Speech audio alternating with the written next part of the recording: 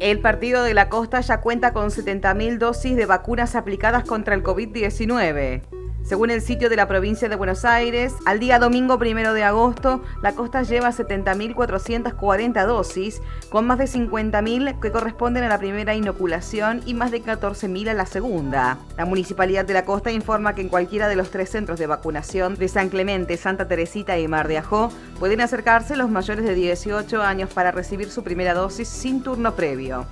También desde la provincia de Buenos Aires se habilitó la inscripción para menores de 13 a 17 años para recibir su primera dosis de vacuna moderna, al igual que los niños y niñas de 12 años, aunque estos últimos deberán contar con la firma y el consentimiento de sus padres o un adulto responsable.